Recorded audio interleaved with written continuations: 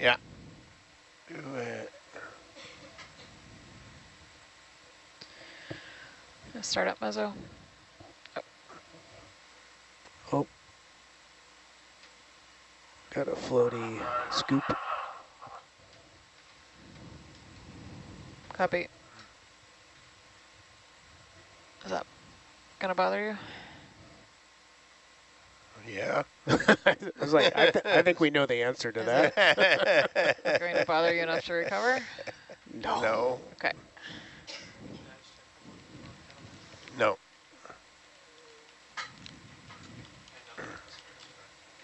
No.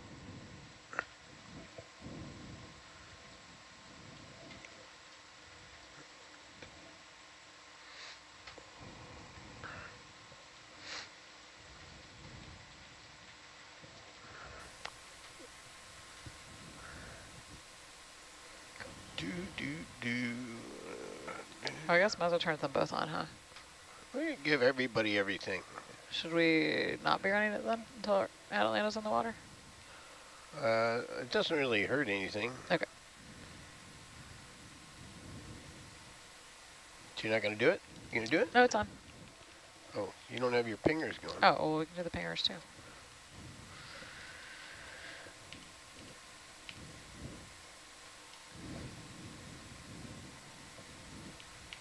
Oh, where'd it go?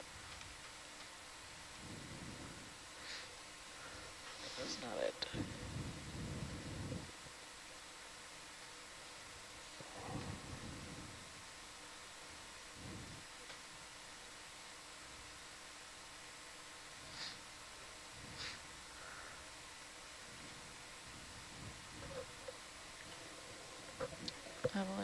Atalanta over the side.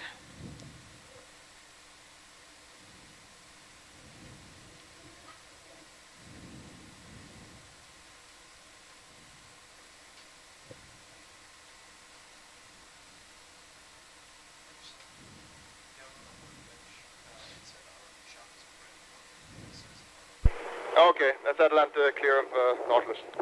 Copy that. Going down.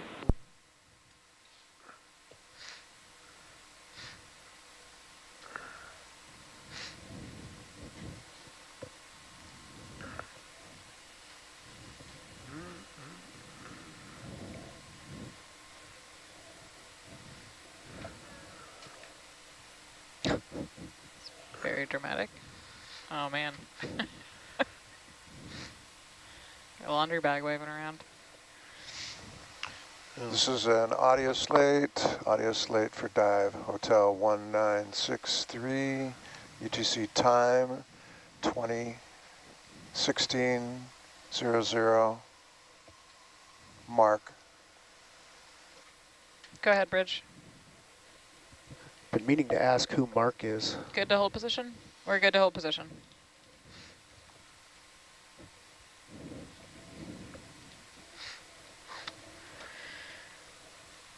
Transceiver sound speed. Looks like we caught a pteropod in our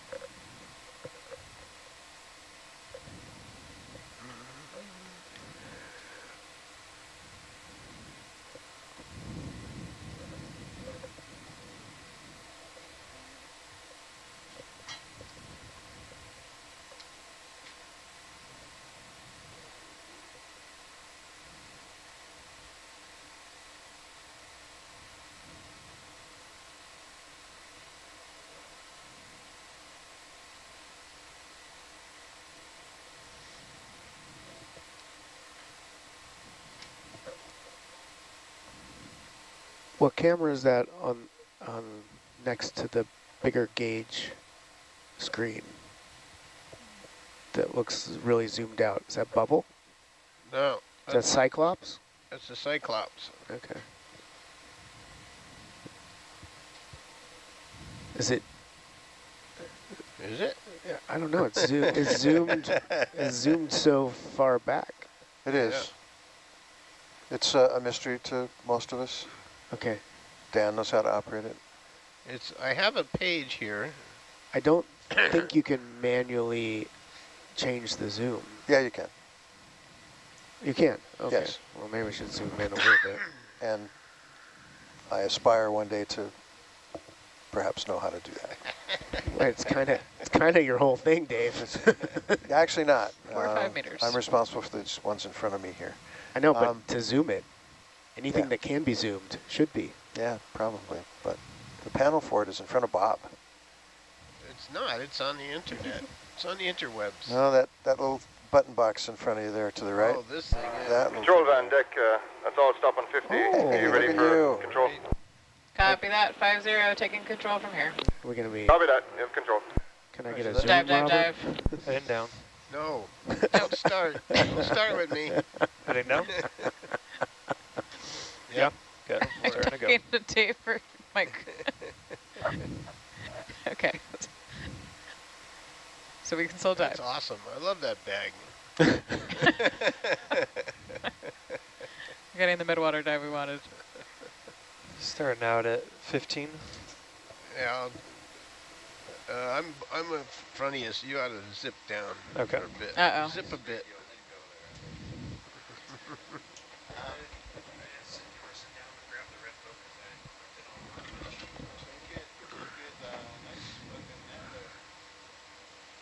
That's awesome, net.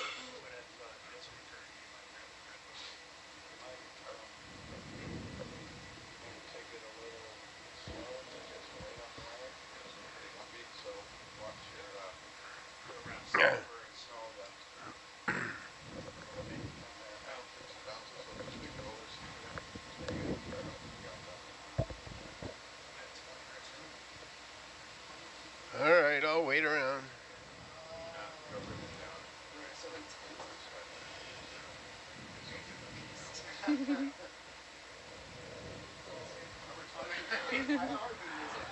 Is what? Yeah, look at it wrestling that thing, wrestling to the ground. Siphonophore. Yeah.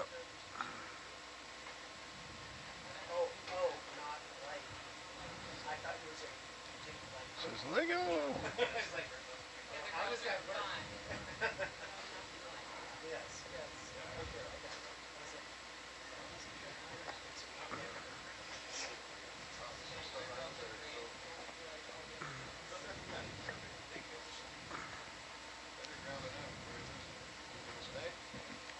What? The scoop? Oh. I think it's okay.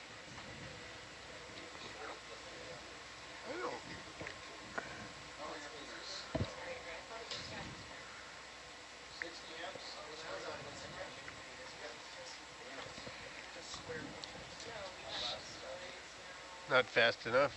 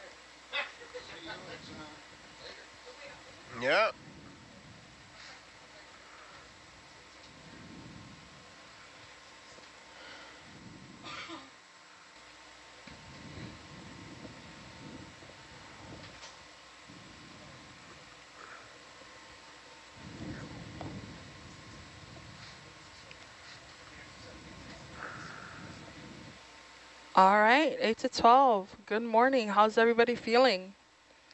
Good morning. Good morning, Hey, hey. everyone. Hey, hey. Feel good. Morning. Let's go. Let's go. And a very good morning. Um, from the Central Pacific to our viewers online. Um, thanks so much for tuning in. We are currently descending to explore the deep northern flank and summit of Seamount 9. Our expected dive duration is about 22 hours, um, if, um, if I'm correct. Yep. Um, all right, 22 hours with a max depth of 3,100 meters. So please send in your questions and stay tuned as we explore Seamount 9 together. Um, why don't we go ahead and start um, on our introductions for our viewers tuning in uh, with a follow-up question. Okay, think shoot for the really hard about this question. Okay. We're, I'm expecting to see some great things on Seamount 9. Um, if you could be any fish, any fish Mm-hmm. in your life, Mm-hmm. um, what fish would that be? And maybe a brief explanation. Okay. And we're excluding marine mammals. Anything. Anything. Anything. To your heart's content. you Okay. know? All right. All right. So, hey, I'm Adam Soule. I'm uh, watch lead for 8 to 12. I'm a professor at University of Rhode Island. My research is in submarine volcanoes. Um, let's see. If I were to be a fish, which, again, I'm not even sure I'd want to be, but Just to if be I clear. were, I don't know. I, f- I feel an affinity to to people, so I want to be a, a koi in a koi pond at a Four Seasons. in a- Oh, what? uh, I did not expect that. a Four Seasons on a tropical island. Okay. wow, interesting. I missed the question, and now I don't know if I want to know. It's it, you could be any fish. In you could be any fish. Yeah. What fish would you be? Yeah. That's what you want to be. I want to be a koi in a koi pond. You really are a geologist, aren't you? Out of all the fish in the sea. well, that one they live a long time. They Okay. don't have to worry about predators. True. They, it looks really fun when you feed them and they all swarm up and wriggle against each other. uh, they're pretty. And that's it. That's it. Thanks, I think. Wow. Okay. Okay. That's a lot of Influencer. Jules? Um, hi. I'm looking for this specific fish and I can't find it, but I will describe it to you. But maybe who you are. Um, yeah, more. um, less importantly, I'm Jules. Uh, I work at the Museum of Comparative Zoology. Um, I am a scientist on the 8 to 12 watch. Also, check out her, Jules's uh, Instagram takeover Yes, of Yeah. that the Nautilus right. Live Yep. Instagram I'm taking over the Nautilus Live Instagram today, so check that out. We're going to have some fun. Smash that subscribe button. Yeah. Not follow Hit that button. like button, um, follow and subscribe. So the fish that I'm thinking of, um, they like, like keep their little like lawn like nice and manicured, like Oh. to impress the lady fishes. And I just think that's really nice. Like they like trim, they like they like keep it neat to like impress them. And I don't know. I just like that that these fish have little lawns. Gardening fish.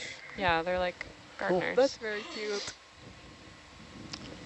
Okay, well, hi everyone. My name is Paula Santiago. I am D2H data logger and this expedition science intern. I am a marine biologist who work on coral restoration in Puerto Rico. And about fish, I I still don't have one, Annie. Are you gonna? Don't tell me you're gonna take a rain check. Okay, no. Okay. She's looking at the fish guide as we speak. I'm seeing Samantha's sky. That's it. I'm looking for fishes. no one's going to hold you to this answer. It can change at a future time, so you can just pick one that Okay, What do you think for awesome. Then, I guess the first one comes to mind is the whale shark. But it's just because I Aw. wanted to see it. So yeah. maybe I can see myself in oh, the mirror. a if I'm whale shark in a mirror. yeah, and I will be very happy. so whale shark. Yes. whale Okay, okay, let's go. All right. Well, hello everybody. My name is Annie Halleck. I am this watch's SCF. a science communication fellow. I'm from Pago Pago American Samoa. Um, this is my first year sailing on the Nautilus. Um, so my fish, there's one back home, but really, I can't, I can't remember the name, so I'll go for my second choice. Um, the blue chromis viridis, it's a small, um, very vibrant, they, they go in school right here, if you guys can see. Reef fish. Yeah. Oh, cool. Yeah, so they when you um when you go swimming or snorkeling, they're very they're so beautiful just to observe. Um, and also um, I'm trying to avoid getting fished, Mhm. so I, I would choose blue chromis viridis. That's really They're very gentle and just doing their own thing. Okay, let's go. Front row. Is it this one? Maybe start with Dave. Don't everybody Oh, jump yeah. in all at once. Uh, uh, Dave Robertson, uh, lead video engineer, and uh, sitting in the video chair, zooming in on things for the 8 to 12 watch. Uh, I uh, this is these role-playing things are weird because I don't want to be a fish. I mean, I like being what I am. But let's see. Uh, I, I really like the koi answer, like at Yeah. at the uh, Okay. at the resort, at the buffet all day. You know, it's like, yeah. Join me. And then the uh, the reef fish, I dig reef fish. I love going snorkeling and following reef fish around and that kind of stuff. But those have already been taken. So uh, I guess I want to be something big and bad, like a shark, Oh, like a Yeah. Great white. like a big old great white shark running around, Ooh. Top of the food chain, baby. wow. They're not at the top though. They get Well, beat if up they're- by killer whales. So. Is that right? Okay. Uh, how you doing? Uh, I'm Mike Burns. I am the Atalanta pilot uh, for today, or on the shift, um, from Honolulu, Hawaii, also Glassboro, New Jersey. Woo woo. New Jersey, It's a long best story. state. Very long story. Uh, I guess if I had to pick what fish I'd be, I'd be a uh, tiger shark. Oh. Big fat happy tiger Oh. shark. Oh, wow. They just eat everything. They eat everything. It's great. Yeah. when they when they are done eating all the plastics and uh, metal bits and other things, then they just invert their stomach and shake it all out and keep going. No, really? Oh yeah. What? Whoa. Yeah. What? You didn't know that? Uh-uh. No, I Oh, did yeah, not know so, that. I mean, they can't digest like turtle shells and other hard bits like uh, albatross beaks and stuff. So they just, uh, when their stomach gets full of that stuff, or you know the other objects out there, such as license plates and uh, toilet seats and whatever else they can I get their mouth on, they they invert their stomach out their mouth, shake out their stomach, and then suck it back in. Oh. That they Oh are my probably gosh. so sore after they do Yeah. that. Wow. That's fascinating. Thank you. There we go. Wait a second, though. Wait a second. How do they get albatrosses? How? They, they land they on the water? They're sitting on the I water guess and then so, they yeah. come up and they eat them. They nom them, yeah. Okay, but so usually the from the mouth all the way to the other end is like a tube. So how do they invert Hey, it? They must stretch their intestine out behind it to do Oh. it. That sounds like a hard life. All right, anyway. It's not a hard life. moving on. I need 'em. Uh, Robert Waters in the Herc seat. I'm OET's uh, facilities manager and ROV engineer. And uh, I guess maybe uh, mandarin fish. Huh. So Why? Oh, Yeah, they're- Mandarin. I never heard of that. What is it? They're cuckoo for cocoa pods. Cocoa- A mandarin. you are. Oh, wow. Yeah, Oh. look that up. Mandarin Very fish. colorful. Wow. Where do you find those? Wow, it's beautiful. you beautiful. find those oh, in Palau. Actually, we're going to Yeah. see those next year. Sweet. Oh, those are beautiful. Wow. Yeah. Turquoise, blue, orange Yeah, you get them in greens and oranges Beautiful. and blues. Are they poisonous? Because They- their coloring looks I like don't, I've Yeah. never tried one. Uh-huh. yeah, colorful things are usually. Yeah. They, they're very slow moving fish. Oh. All right, Samantha. Hello, Samantha Wishnak, uh, navigator on the H-12, also the operations coordinator for Ocean Exploration Trust.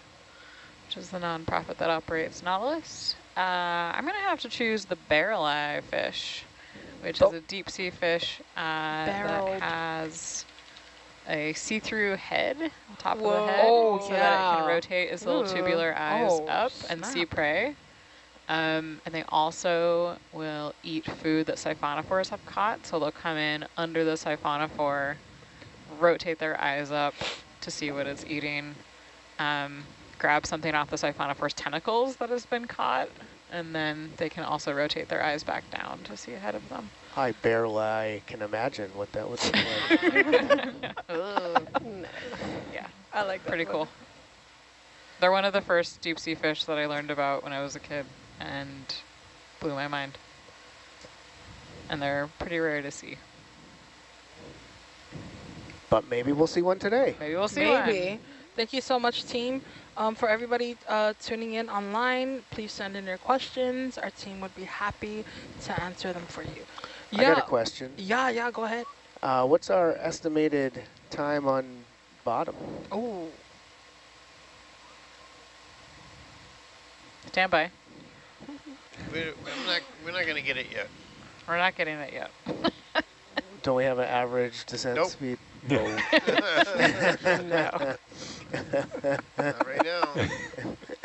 It'll be a while, folks. it'll be a while. Yeah, at least two hours. A while. Oh, So we'll be handing off to the other watch right as we get to the compensate seafloor. right. Just setting it up for them.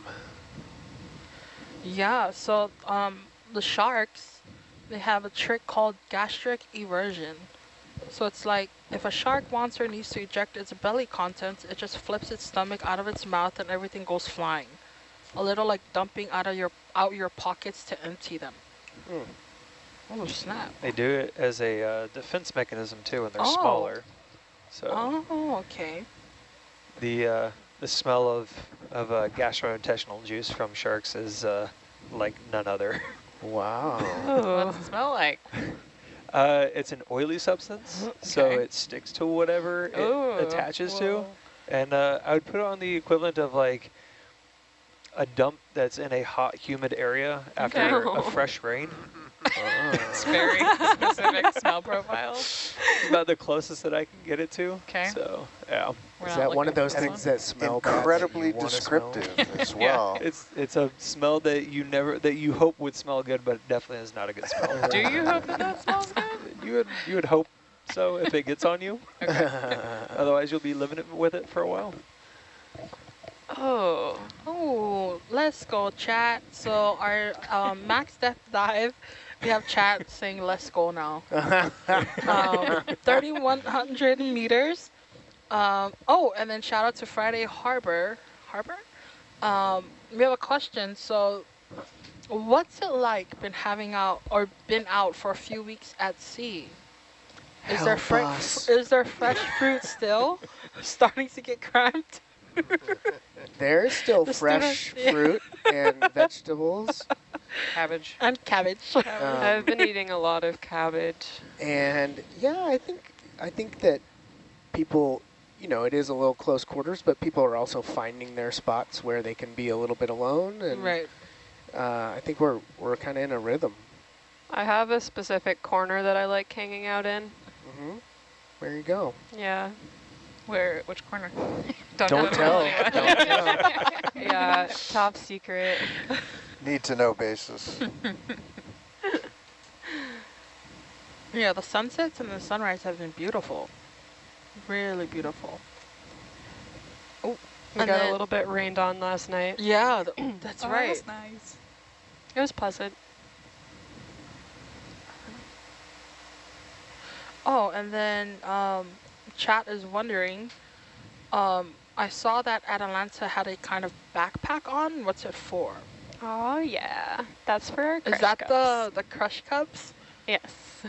Um, We should explain what happened. So styrofoam uh, is mostly air, and when you take it down to high pressure, it squeezes down and, and all the air squeezes out. And because of its material properties, it doesn't bounce back to its original shape. So it's been a long tradition in ocean science. You kind of draw a picture on a styrofoam cup and it comes back like a shrunken, like a shrinky dink. Yeah, like a shrinky dink. And it's kind of like a little memento. And, and these folks here do it exceptionally well. There's multiple redundancies to ensure that the cups stay where we put them. Right. Um, and so it's kind of kind of cool. And then um, you get to decorate the cups too. Yep. Um, Mhm. I'm excited to. Is, is it only a one-time thing or? You Well, can re if you say go down to a thousand meters, the cup will shrink only so much. And if you put it back in and went down to 3,000 meters, it would shrink a little bit more, but there is a limit. And oh, okay. Okay. um, it it doesn't have to do only with depth, but with like the quality of your styrofoam. The cheaper the styrofoam, the more it shrinks. Right, right. Thank you. ETA to the bottom. Um, Don't ask, stand don't by. Chad. Yeah. Stand by. So what is the quality We're of not our there yet. styrofoams? 100 minutes. oh, we have a time. Uh, our styrofoam looks pretty low quality, which is good. That means it'll shrink more.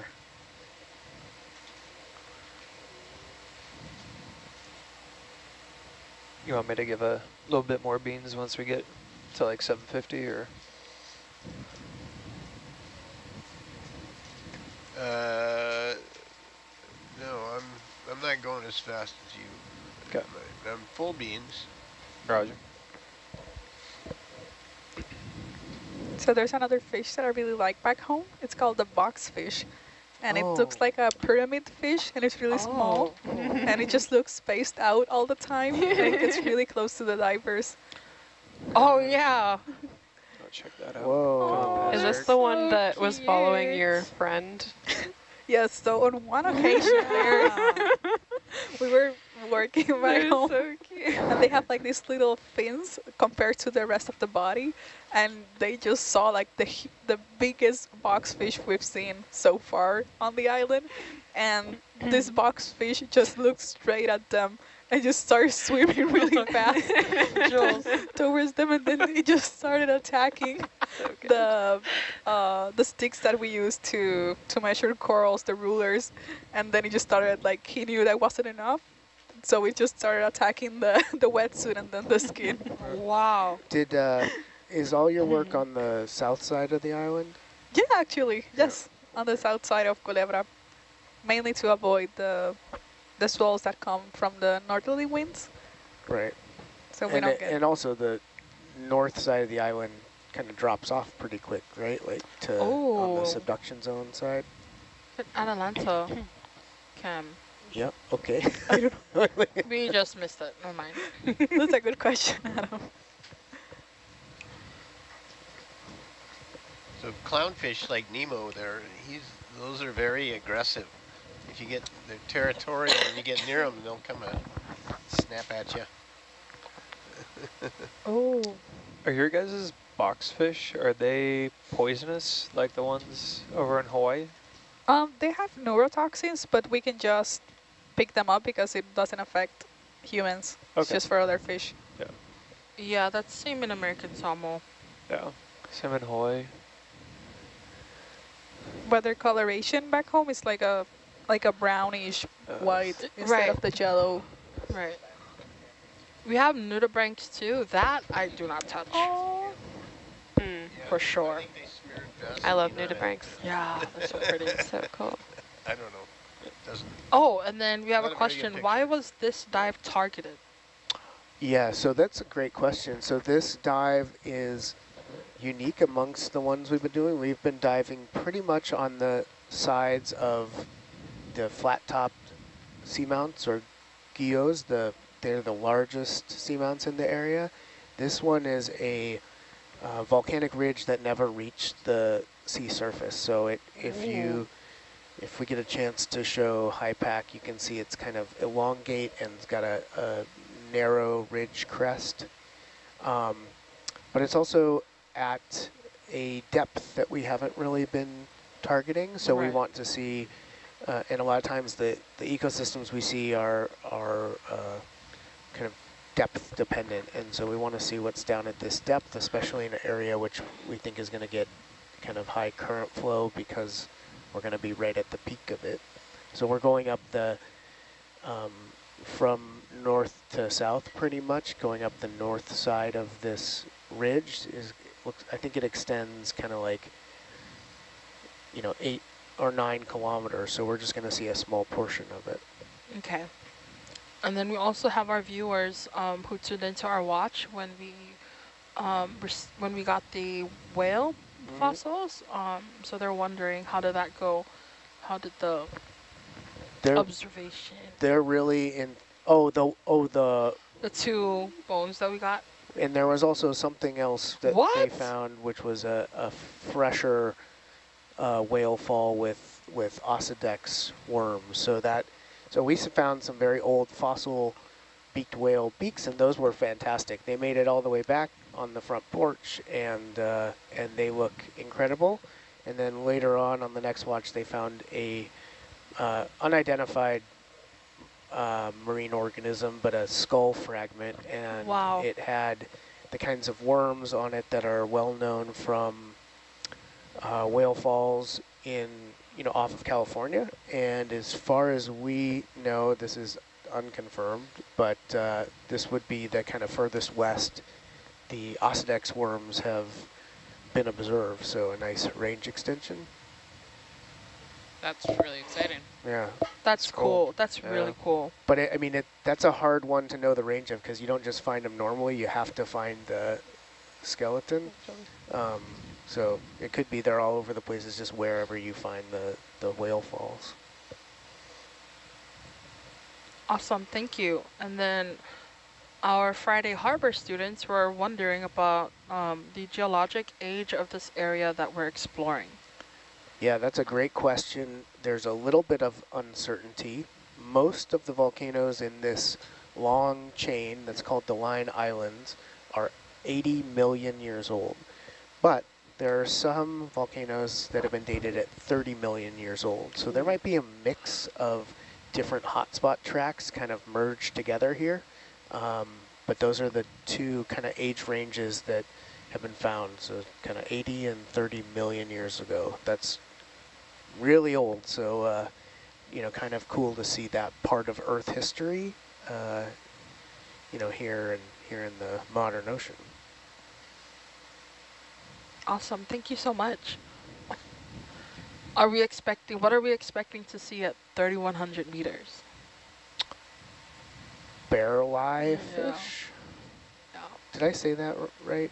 Barrel eye? Barrel eye, yeah. Barrel Ooh, eye. Barrel, barrel eye. eye. I was saying barrel eye. no, like, like barrel two eye. barrels. Barrels, yes, yes. Okay. Yeah, so uh, we don't know. We haven't had any dives at this depth, uh, oh, so it, will be exciting. exciting. Yeah, so um, it, there's a good chance that whatever we see here will be something new to us on this this particular expedition and maybe new to science. Thank you. It'll be especially fun for the next two watches. right, yeah. we have to wait our turn. Yeah, Does this water on. look different than the other water? Yeah. it's looking a little bluer. Maybe. It looks the same. Yes, the whalebone did survive, and we, we received it. We got it. Okay. And then our chat would also like to hear from our team, what do we like to do when we have free time to keep ourselves entertained? A lot of reading, some napping. We've done quite a few puzzles. Right. Uh, Is there a, a multiple puzzles or just one? Oh, there's a lot. Okay, okay. I was wondering. There's a, a gym, so people do exercise. Sometimes um, people do push-ups. Yeah, do push-ups. Uh, we talk to each other and learn about each other, which has been, you know, totally yeah. fascinating to yeah. learn people's stories. Um, we probably do some of our shoreside work, you know, if we have it. Um, there's sure. some uh, crafting happening. That's true. Knitting, crocheting. Yeah. Uh, there's even a knot class. There's yeah. a knot class. Knots? Doesn't love knots. knots. Yeah. And But- we've seen you sketching a bit, right? Oh yeah, Yeah. yeah. I like to sketch and draw, and I also like to um, go up to the monkey deck, um, anywhere where there's a good view of the sunset. Mm. It's Yeah. probably also, when, when we get off watch, it doesn't mean that we're necessarily done with our work. you know, Right, that's true. especially when we bring back these samples, we, we've got to process the samples. Samantha, when we're doing mapping, when we're not diving, is down there uh, uh, processing multi-beam data and directing the ship. Mm-hmm. Um, Mike seems to run around a lot out there on deck. Not sure what he's doing. he goes in a hole, he comes out another hole. You know. Don't underestimate the powers of the, the deck chief. And, it, and the ROV is constantly uh, receiving kind of maintenance and and uh, you know work done on it. So it's it's busy, busy out here. Adam's always cutting open rocks. Sometimes he lets us help. Yeah, that's been a cool That was really experience. That was a cool. cool experience. Looking for whale sharks. Looking for whale Haven't seen one sharks. yet. What will we have? How many days left? Oh, um, uh, seven? We have one week left. Seven days, jeez. Uh, three more days of, um, of dives. Ooh, okay. Getting close. So our chances are not great, but we have a chance still to see the whale shark. We have seen a lot really of like white your tips. optimism. It'll have Your to be while we're on station, though. When we're in transit, it's not going to happen. So, Oh, sorry. Just wait Wow. for the realism. so it's true. Lower than we thought. Oh. But maybe we'll see whales or dolphins in our transit. That would be Unlikely, That should very do it. exciting. Hopeful. Sorry, Samantha. What did you say? Oh, unlikely but hopeful. yeah, yeah, yeah. Ooh. What type of dolphins do you see when, yeah, around the Nautilus? Uh, depends on where we are. When we're closer into the islands, we'll see spinner dolphins, a lot of spinner dolphins. Um, Ooh. False killer whales we saw last whales, time. Yeah, yeah. huge pod. Wow. That sounds impressive. Yeah.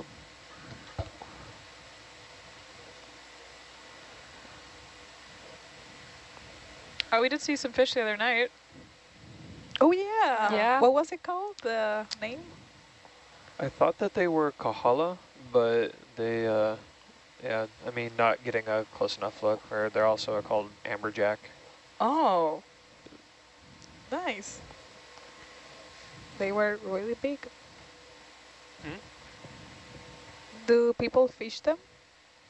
Uh, you can fish them, yeah, but I, without getting a better look from the surface and stuff uh, at them, couldn't uh, be 100% positive.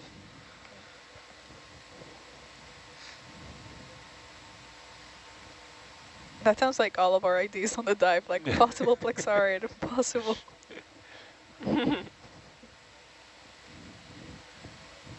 Could just overboarded Atalanta and have them swim around.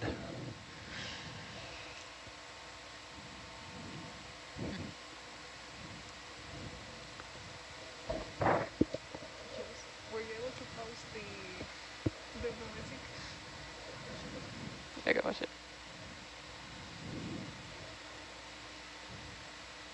What does Moog stand for? What are you saying? What? Moog. Moog? Move. That's uh, the motor controllers. Where are you Ah. seeing it? Oh. On uh, the screen to your left. Oh, so that's the fiber optic multiplexer. Yeah. Cool. Glitch. You see nothing. You didn't Seen behind the curtain. ya? No, I, I minimize those. Oh. Merci. Wouldn't dare dream of closing those. Is that uh? Nope. Okay.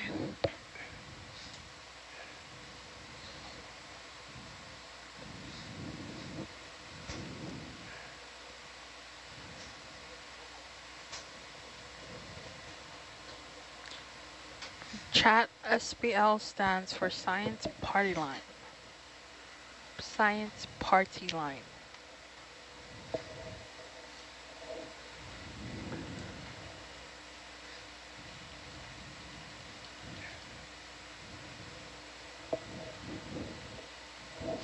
Is that an accurate uh, time to bottom?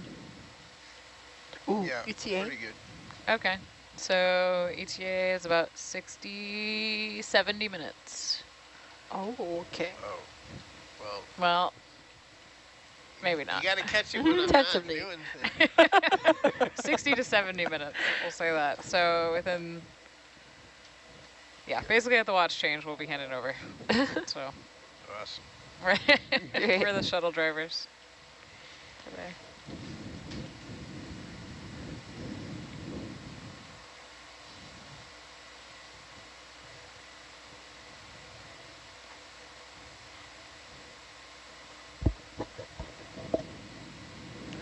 Oh, what is the first, this is a good question. What is the first shoreside food you're going to have?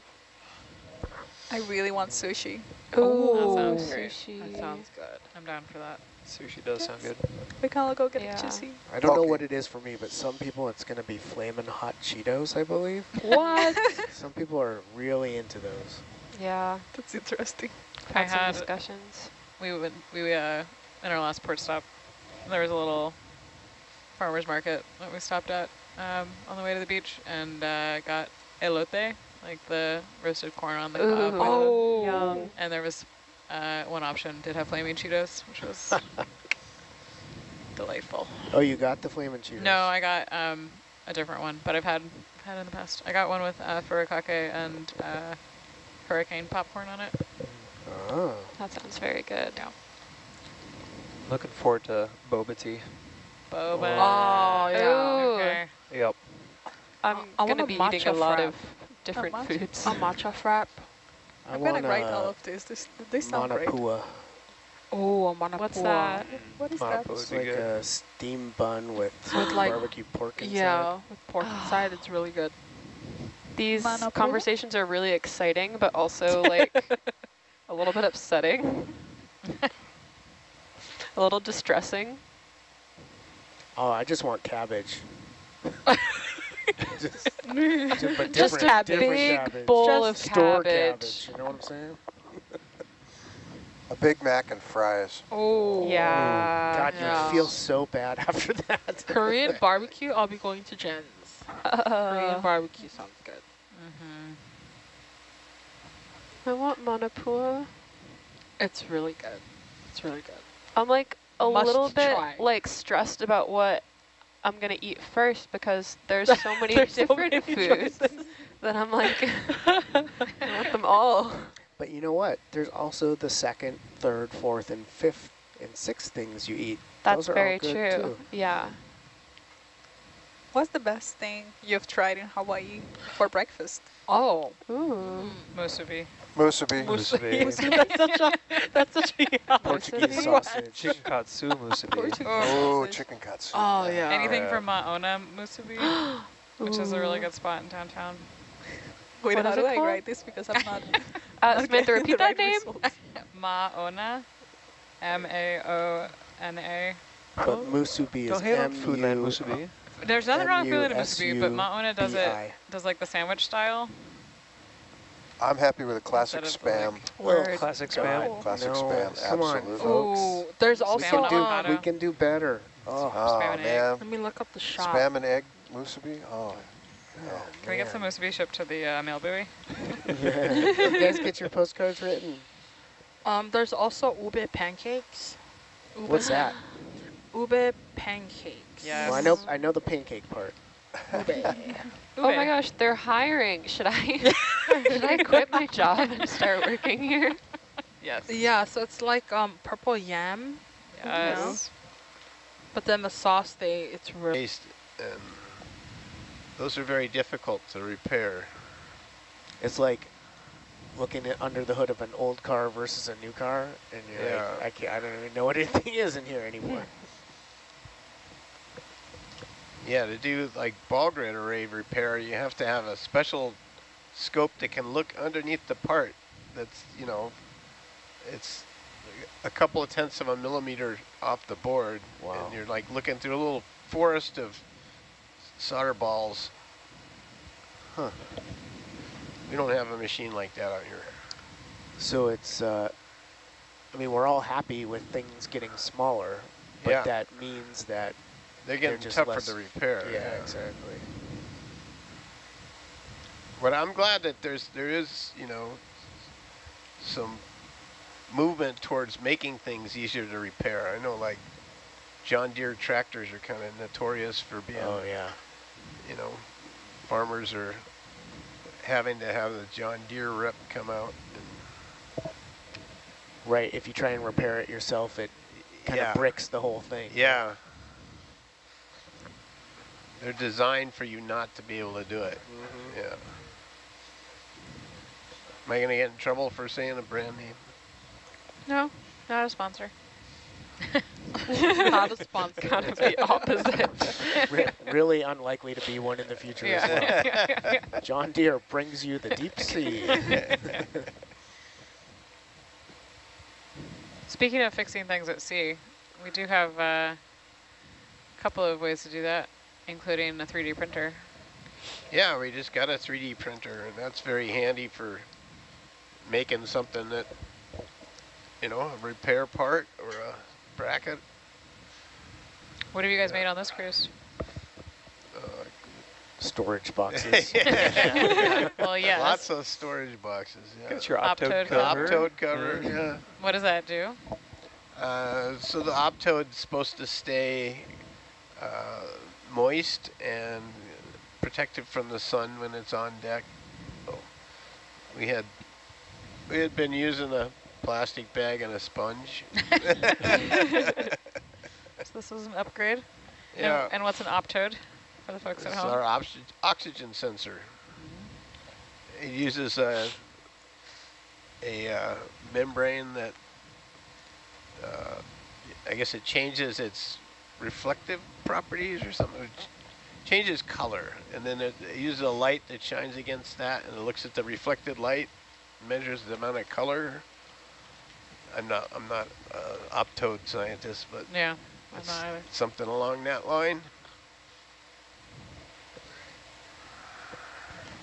Speaking of upgrades, our uh, Friday Harbor students are wondering if there was any upgrade to Herc that could be added. Oh yeah. Could have Any? two brand new manipulators would be a nice upgrade. Mm, Oh, if we were to go shopping and give, oh, we- well, we want uh, an Blue inertial, sky. an inertial navigation system. Oh yeah. oh, What's that So- do? That would give us much better navigation, and uh, it, it would kind of fix this cloud of USBL fixes Yeah. And give us like sub centimeter like positioning accuracy when we go into Mhm. auto. If we do our auto XYs. You do like going into autopilot. Well, so yeah, that's a big deal because, like, say you're on a wall and they say, "I want that coral," Yep. and right now we, you know, you need to live fly it to really be like zoomed in on a coral. Yep. Our our Auto XY has too much drift.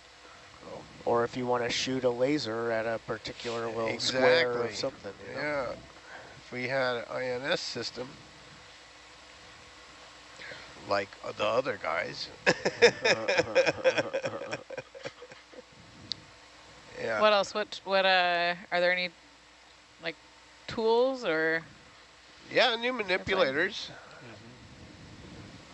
definitely re use a replacement for uh, the Magnum. Yeah. What about on the science side? What's like the blue sky vision for a science tool or a science instrument on an ROV that maybe doesn't exist yet? Uh, b- b- b- but I mean, there's depending on where you are, there's a bunch of cool sensors, you know, chemical sensors that you'd want, um, electrochemical sensors for sulfides and uh, spectroscopy sensors for methane and, and carbon dioxide. Um, tools for in situ filtration, pumping and filtration, which we will likely have on Hercules in the coming, or in this year at some point. Yeah, we've had um, that kind of system in the past. At least one Yeah, that's a, I think it it's, was a Are you talking like that with brought it up. pelagic pumps? well, so pelagic pump with uh, some sort of manifold to, to Yeah. uh, direct it to various filters and things like that. Yeah. Yeah, we had a prototype out during the subsea cruise a couple years ago, I think. Yeah. Uh, let's see, what else? Just, you know, bigger boxes for bigger rocks. That's always a good one. What doesn't exist yet, Adam, that would be like, that Uh, would advance the way that we could a lot of sample? so in situ uh, DNA analysis and, you know, kind of what Pablo and Impossible Sensing, you know, in situ chemical analysis would be nice to have uh, manageable drill for, you know, so when we try and get these, basically any rock becomes available to sample, even a, a kind of sheer wall.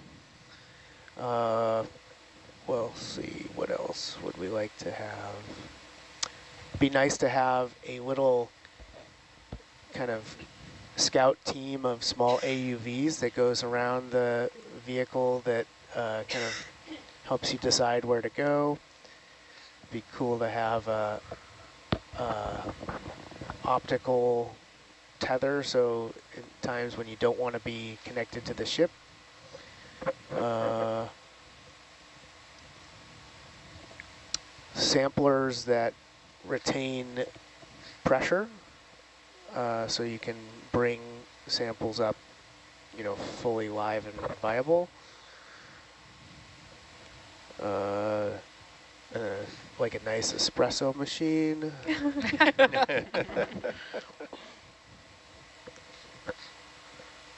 And I tried to get some traction on the espresso machine and it just didn't go anywhere.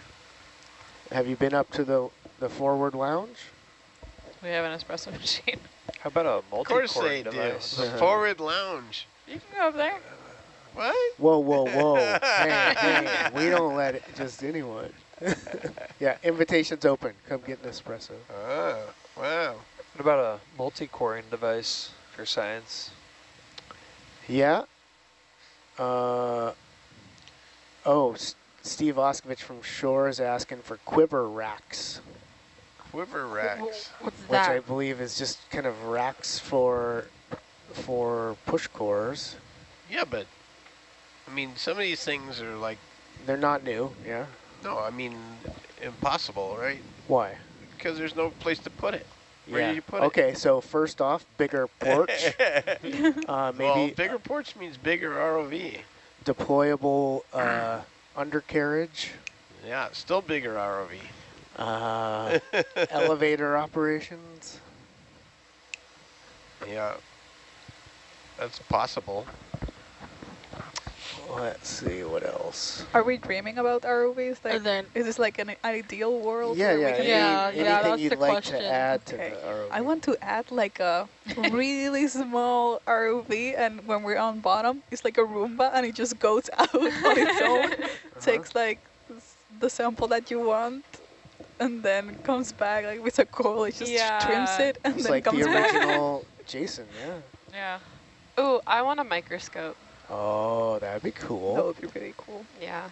We also have chat tuning in um, about the, what about movable measuring lasers instead of the 10 centimeters um, that Herc has? You can have, we can have a more accurate measurement Mm. You mean instead of instead of having to estimate. No, I can yeah. That's a good I, idea. a laser line scanner, which has been on Herc before. That'd be cool. Uh, Steve would like a system to inject RNA later uh, on the seafloor so that we could preserve samples in situ. There's been something in the past called a, what was that called? That like uh, blender of life or something like that, where they blended up.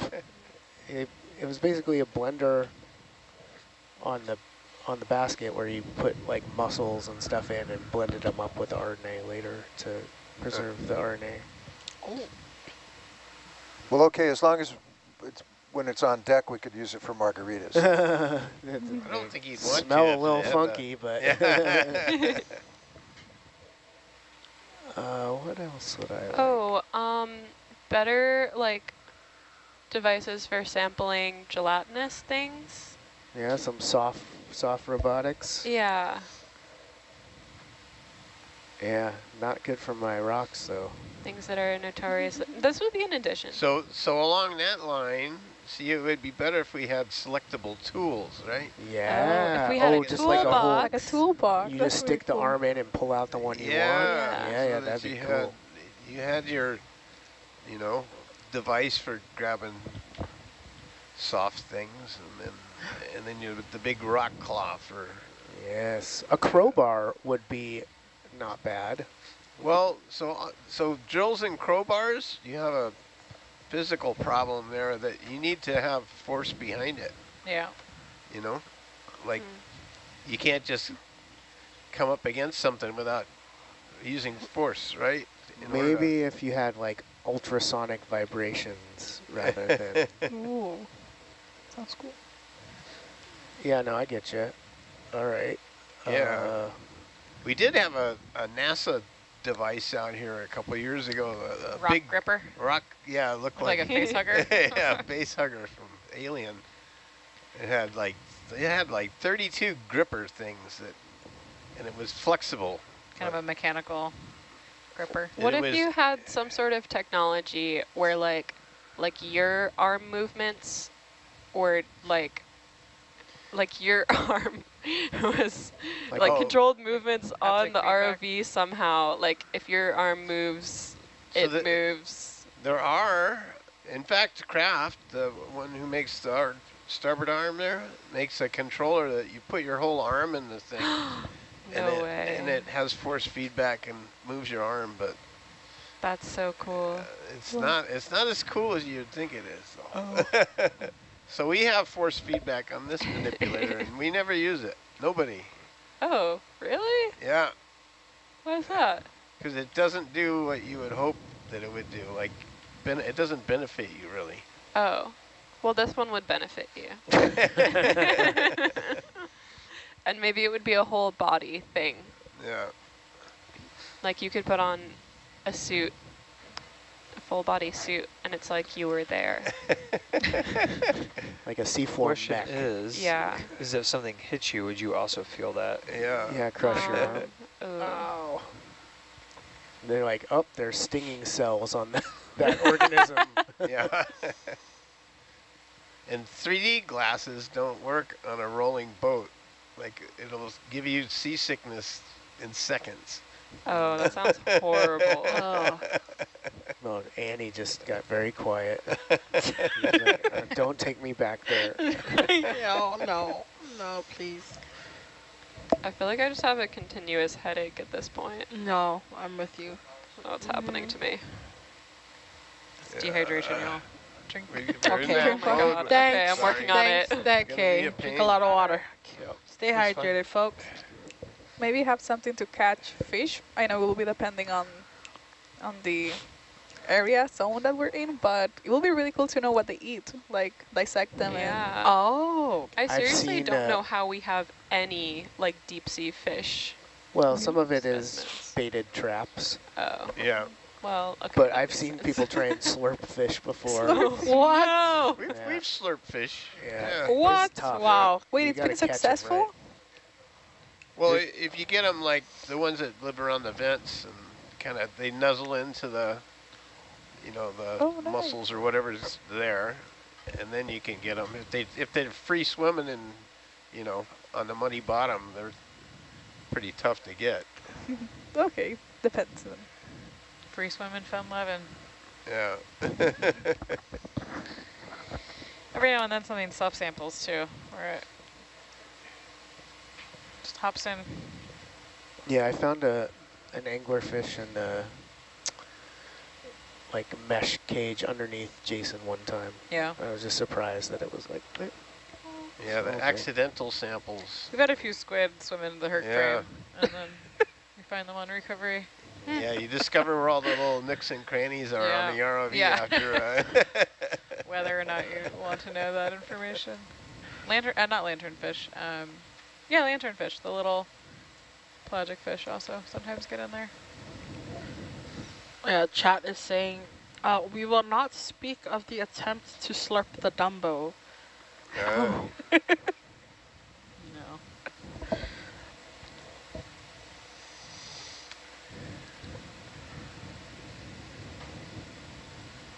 Oh, did we, um, Paula, what was the verdict on the little star that we slurped the other day? Oh, it Our C3 was. star. I think. I I don't know. Maybe it's a possible between a slime star or a cushion star. Oh. We don't have a I definitive answer. Tentative Oh, slime star. Was that the fuzzy one? Uh-huh. Yeah. Yes.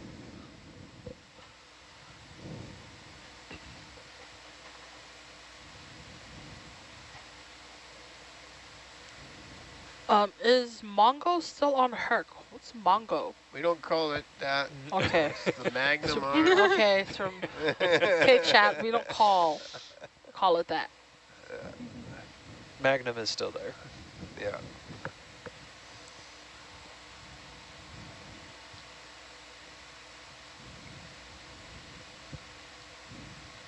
Is the Atalanta camera moving, or is there just a wiggly cable there? There is just a cable moving with the current. Okay, there, more of it was coming into view on the right-hand side of the screen. There Yeah, it has a lot of slack Oh, there it in is. 'cause Yeah. it- That's, That's, uh, that's okay? Yep, Okay. that's a wire. well, it's probably not great. Okay. It's probably Yeah, should be secured better, but it has to have slack so it can tilt up and Yeah.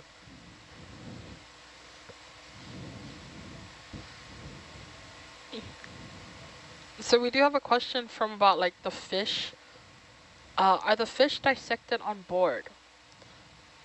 Um, Before, well, I don't know. Uh, we don't. we haven't haven't collected Yeah. any fish. What about previous cruises? Typically, on uh, on expeditions I've been on, yes, most of this the biology collected gets dissected on board,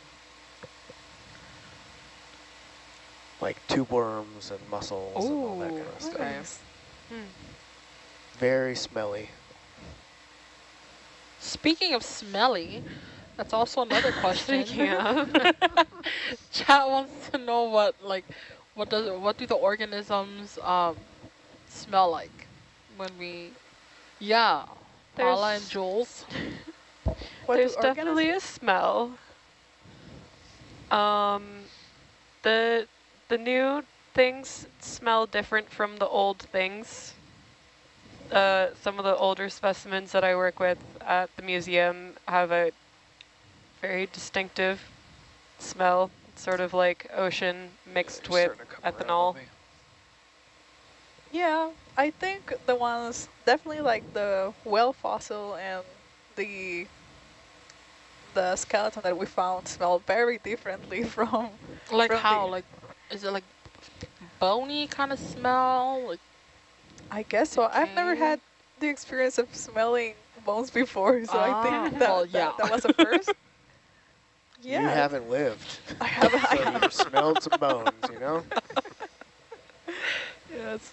I found that urchins smell worse than other things over time. ah ah okay, okay. in my experience. and then the rocks smell like rocks Yeah, no, I mean, they they smell a little oceany, you know? Mhm. They smell a little briny and, and uh, there's a lot of, you know, very small biological stuff or even biofilm, you know, stuck to them, so, but, Isn't- uh, Isn't there a coral that smells kind of like citrusy? Oh, Is what? Steve still, if Steve's still watching, I bet he, uh, Steve's. Steve's still on. great. Steve, we're looking, uh, we got it, we're taking corals that Smell smell good. citrusy for 400. I'm gonna need an answer. There's a um, sea slug, a nudibranch, uh, Ooh. called Melibe leonina in uh, the giant that lives in the giant kelp of um, California, and it smells like watermelon when it's out of the water. what Yeah, it's pretty incredible. You'll pull up um, kelp that's like floating on the surface, and if there are some living on it, the whole kelp smells like watermelon. Amazing. Sorry. Whoa. Samantha can you Yeah. repeat that Melibe, M-E-L-I-B-E. oh Leonina Yeah. Yeah. Oh. Melibe, what I want to be is the, the phrase that usually goes with that.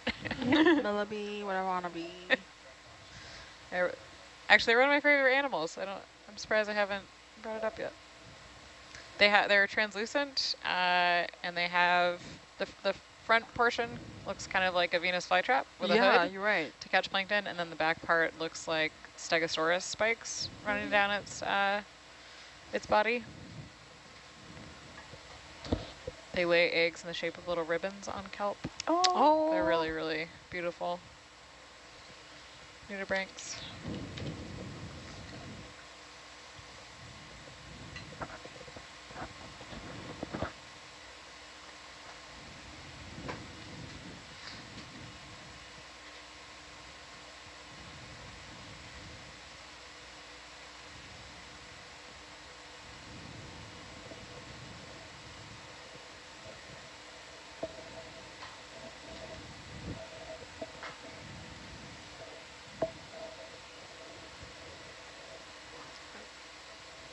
We there yet? No.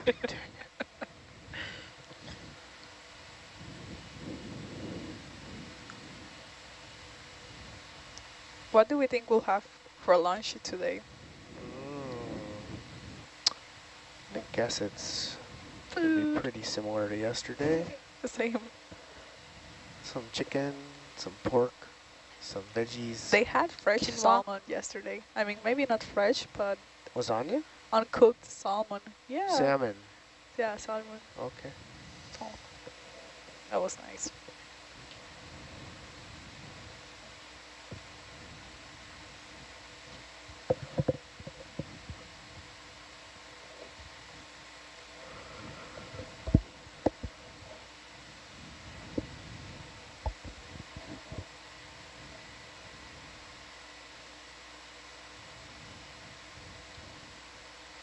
Why is it that it's easier to get dehydrated on boats? I don't think it is. No? Maybe mean- you feel more the effects of dehydration when you're on a boat. And we're constantly cycling between heavily air-conditioned spaces to humid Mm. heat. Your body's always compensating for all the motion that it's taking in. I think it's just easier to get tired in general and have more stress on your body.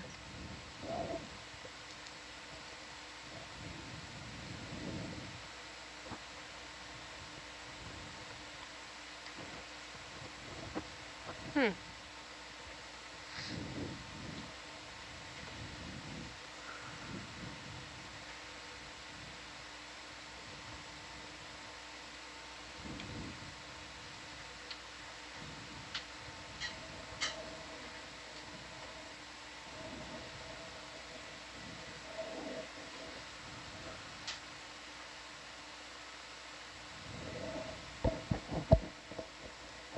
Do we have an estimate on how many lives, of how many dives we have left? How many lives? yeah. I think How many lives do we have? I think we have uh, three or four, counting this one. Okay, we have some left.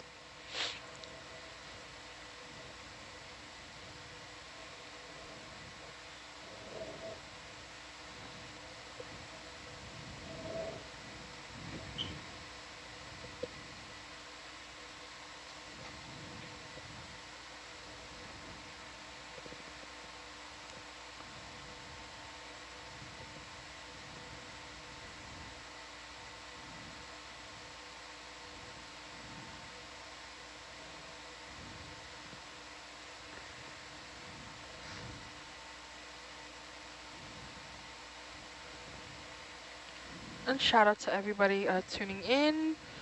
We have our folks all the way from all over the U.S., uh, Hawaii, uh, UK, Germany, Netherlands, Canada, Norway, France, Sweden, Maldives, Japan, Indonesia, Czech Republic, Switzerland, and Brazil. Wow, Nice. Mm. that's awesome. Mhm.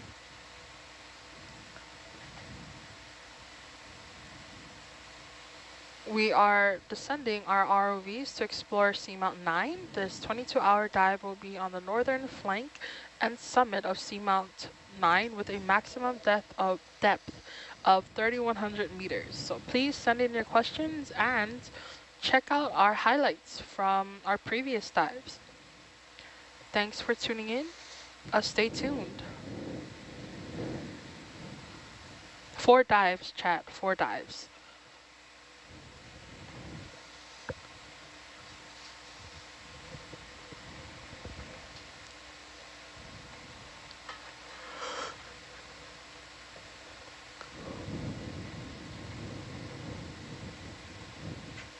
Oh, ooh, live data is working. Let's go.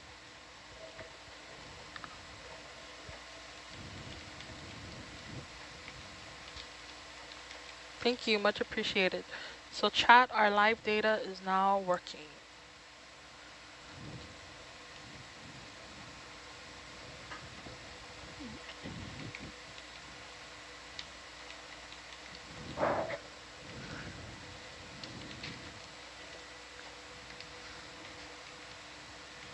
Folks, you can also ask me questions on um, the Nautilus Live Instagram. Yes. I have created a poll. What is it called?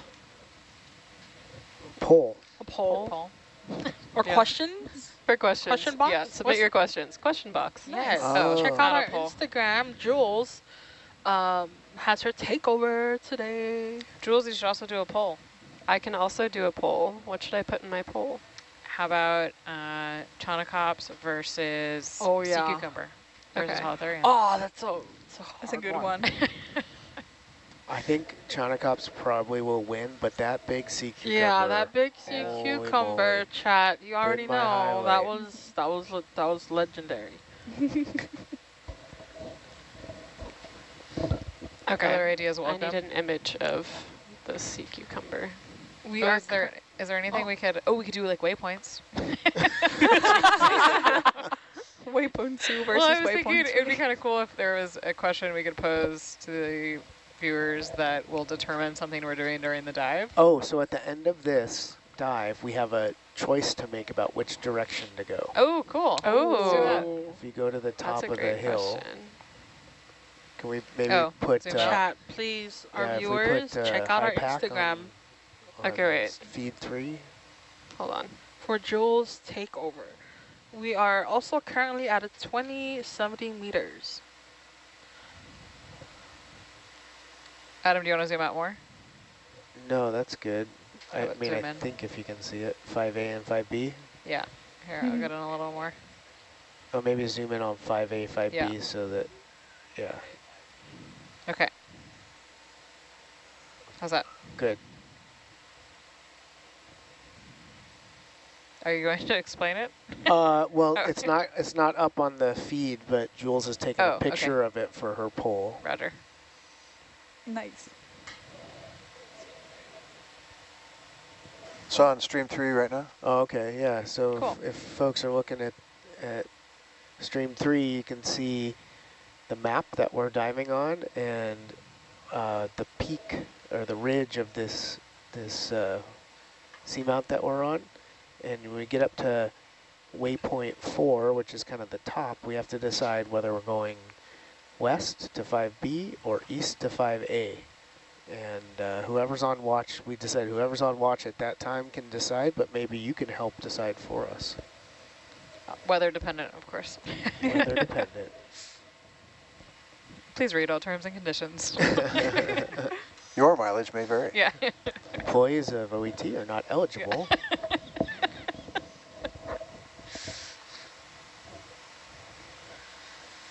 Okay. Zoom back out. Zoom out. Zoom, zoom. Adam, do you want to talk about this uh, kind of Yeah, well, series we of have features in general? Yeah. Yeah, so um, maybe zoom out a little more so we can see the whole thing. All right, so you can see this volcanic ridge that runs east-west pretty much. And you can see it doesn't have a flat top like a lot of the other seamounts we've been visiting, so this one never reached the sea surface. we're real interested in this one, both because of the depth, which is a depth we haven't spent a lot of time looking at uh, on this expedition, but also the steepness. So we'll be encountering some fairly steep slopes as we head up, and we're going to go over one of the that first lump between where we are and the and the top of the ridge, a little satellite cone on the on the flank of the seamount, and then up the lumpy and steep terrain to the top. So probably the primary volcanic vents were along the ridge, and maybe that little seamount or that little bump we're going over was maybe a another vent where lava was coming out of the seafloor, or maybe it's a big block of of the seamount that slid down the side. So we shall see. Great.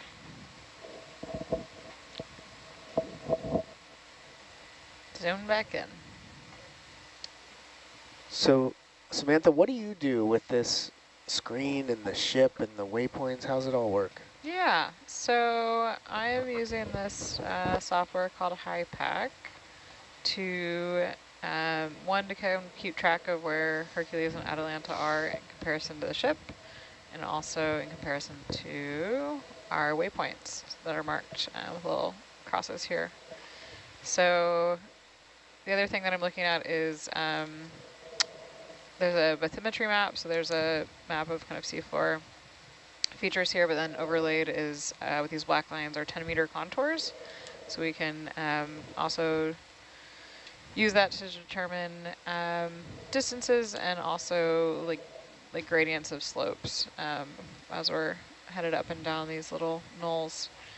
Um, so I am using HYPACK to determine uh, the range and the bearing of the moves that we'll need the ship to make to keep Hercules and Atalanta safely exploring on the seafloor. So right now we're just heading down to the seafloor where the ship's holding position and we're just dropping the vehicles down. But once we get there, we'll start making the ship moves and that's when you hear the nav calling into the bridge um, and giving a, uh, a range, so a distance, um, and then a bearing, and that's the direction we want the ship to move.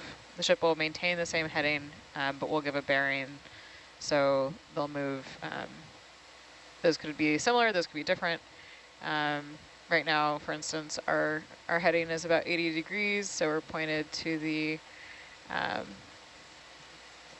the northeast, uh, just a little northeast, um, almost full east.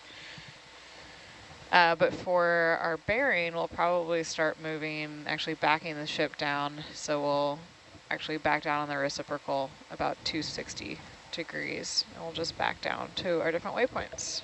Um, and Mike, do we generally go uphill or downhill? Does it matter? What's the difference?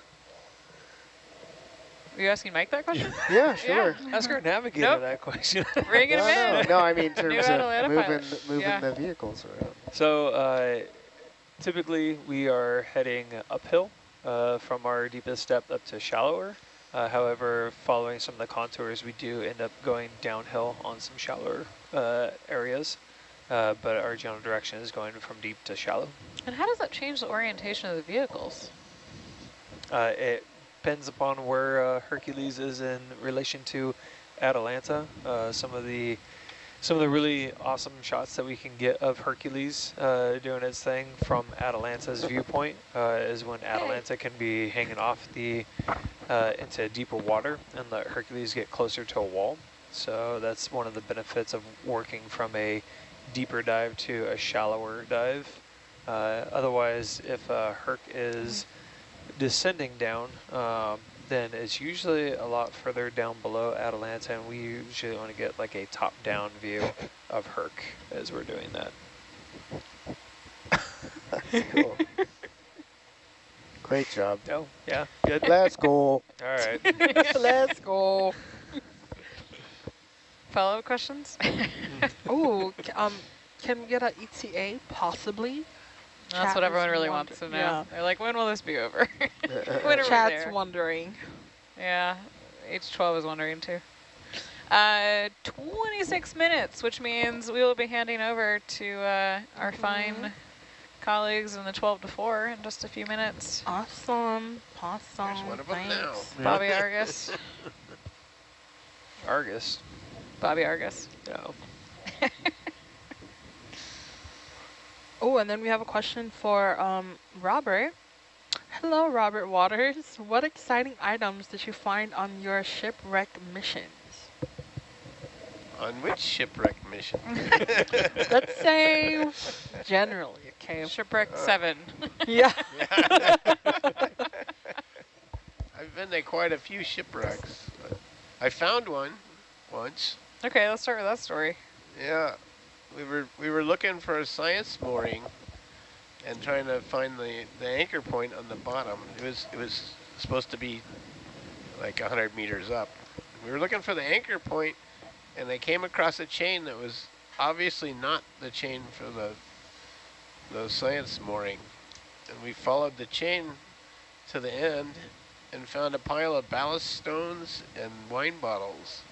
Huh. Such. Hmm. Yeah. Was this with Cindy? Yeah. Off of, I think it was North Carolina. Yeah. Yeah. So what was the boat? Uh, I don't think they identified what it was. There wasn't a lot of How'd left the, of it. The ship had pretty much disappeared. How old were the wine bottles? how'd the wine taste? I did bring a wine bottle back. Oh, Was okay. it empty or It, full? I think it was just full of sediment. and. Okay. It- What- Wow. how- It'd been there a while. I don't really know the details. I mean, like contemporary 1800s, 1700s. Like, 1700s. oh, okay. So, Yeah. wow. Yeah. And then there was a wreck that I, I don't remember the name of the wreck, but that was down in the Gulf.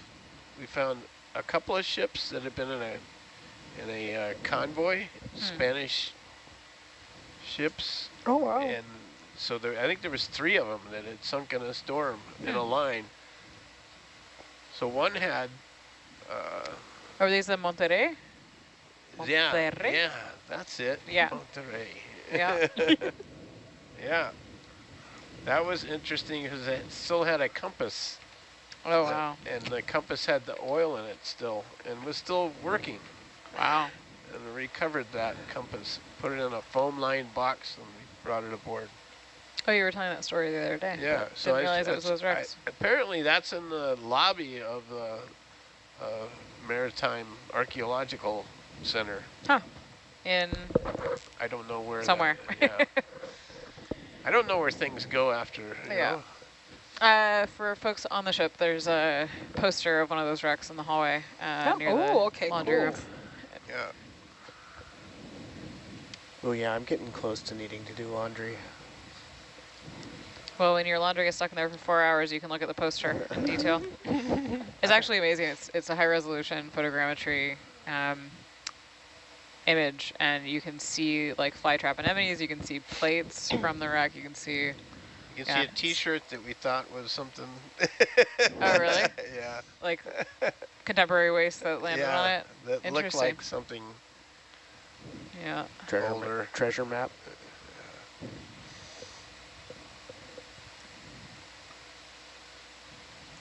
Yeah, that was a pretty cool wreck.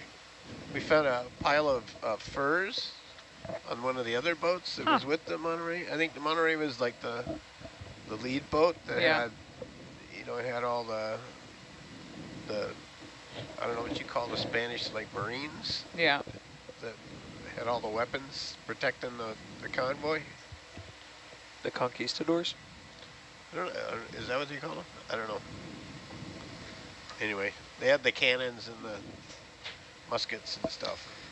Interesting. Here's our watch change. Ooh. Shout out to Jules from chat. It's almost like you're right next to me. What? What? Hey. Who's that from? Uh, I had a question. oh, you put it in. Yeah. ¿Qué pasa?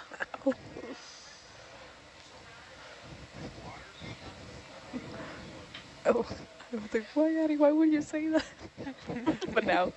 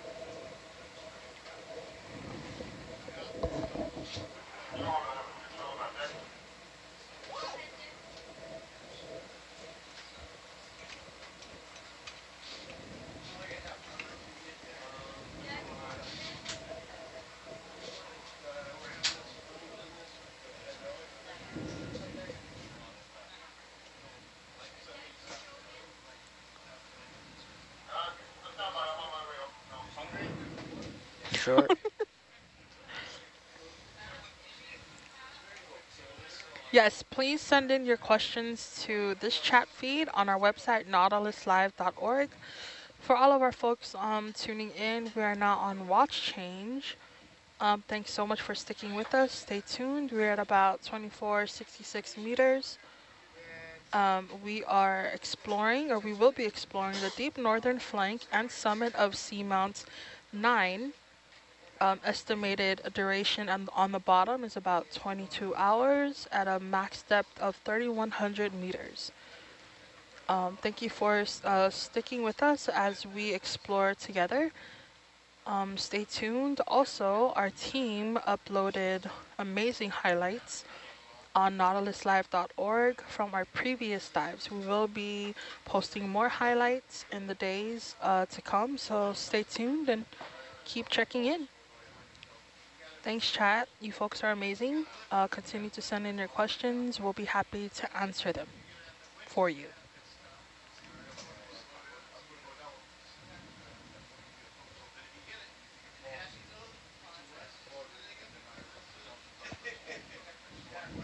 Um, yeah, yeah.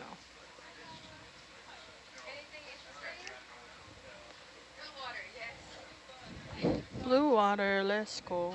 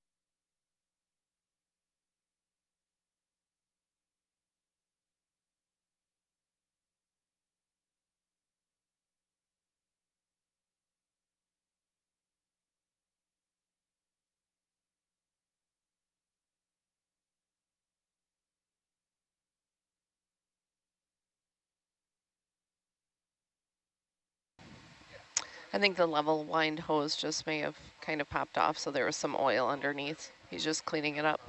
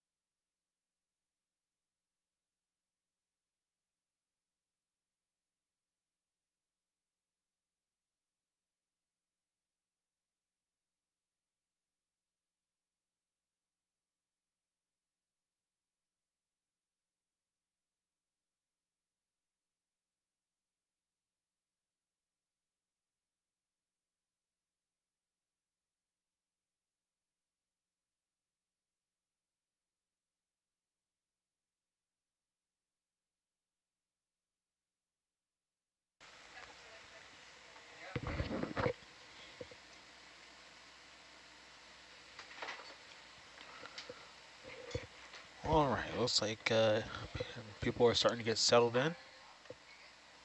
Is this everybody? Or are still waiting on anybody?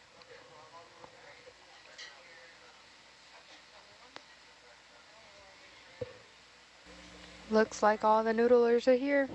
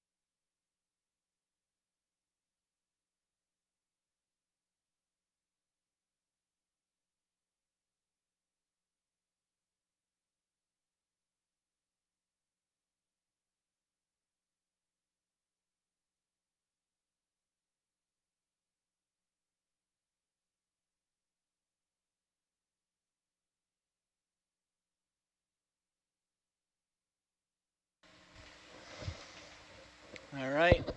Good afternoon, everyone. All right, good afternoon. Good afternoon. What's our ETA, Nav? Uh, about 20 minutes. Oh, not bad. I think this will be the deepest we've gone so far. Yep. Mm -hmm. What do we expect to find? Hmm? um, I don't know. I mean, at these depths, I I would assume not a lot. Um, we're kind of past that depth, that range of yeah. really high Sweet density spot. of at least bio. Maybe some cool rocks. I don't know. I, I guess we'll find out.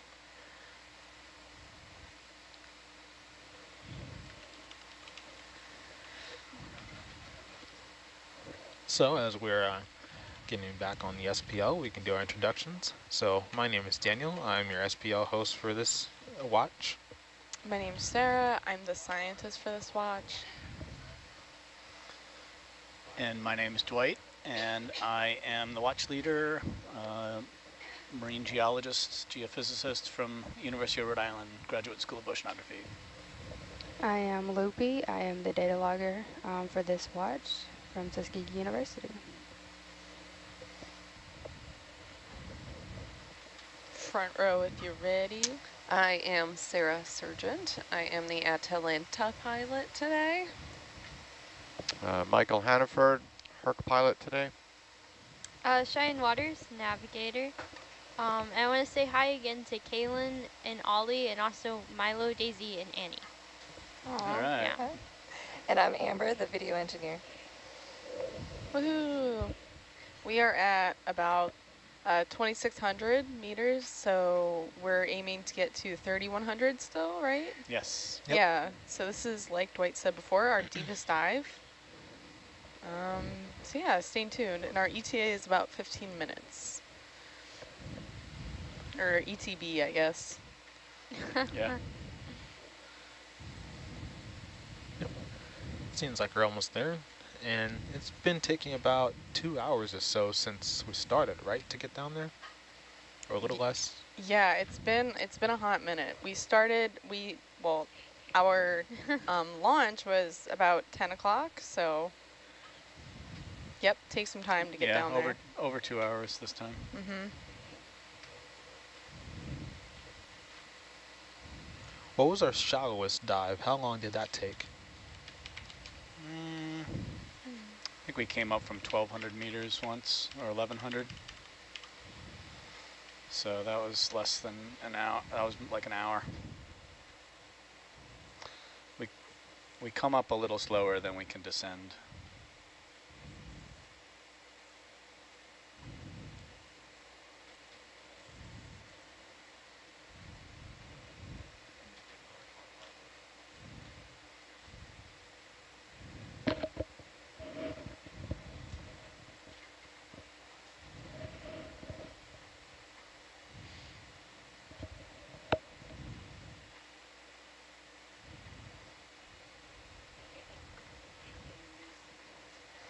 Maybe we'll get surprised and see lots of corals and uh, Yeah, I mean that would be amazing. That'd be really cool to see. We do. I uh, will check in with Brian hopefully, and I think maybe Steve is online with us, and we can um, decide which s- corals to sample because because we're going so deep. Right, This will be the first uh, collections of Mhm. certain species at this depth range. Yeah. So Mhm. that's what we want to go for. So are we going to the very bottom of the seamount, or is it still on the flank of one? No, not quite. Uh, it looks like the flat part is closer to mm, 3,500, 3,600. And Uh, our ROV is rated to about 4,000 meters?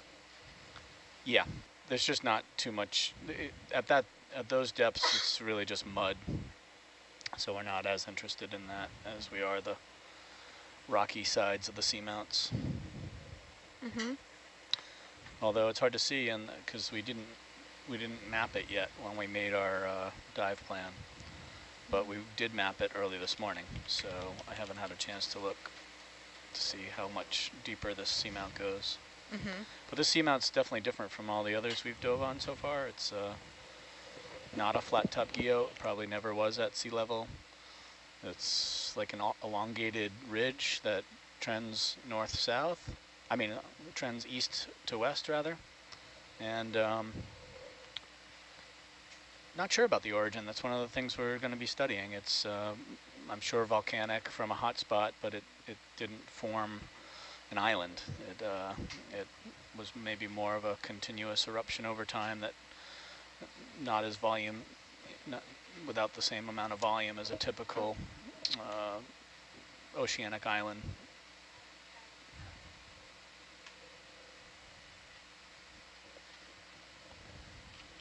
And it could be a different age from the other seamount, the other guyots we've been diving on. This could be older, could be younger, we don't know. Um, but it does look quite a bit different structurally, so that kind of indicates it may not be the same age. On the last cruise, did we go to this depth in this area? Uh, they did a they did a dive on Seamount Seven. Uh, I can't remember the depth. That I think they did start this deep, though. Yep.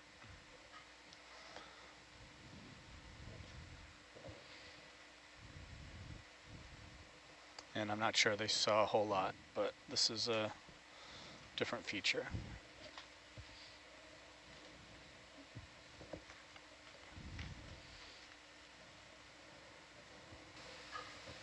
So as we're diving deeper into the ocean, we are going through uh, different zones that reflect the different levels of light that we receive the farther down we go. So where we started was in the epipelagic zone, or the sunlight zone.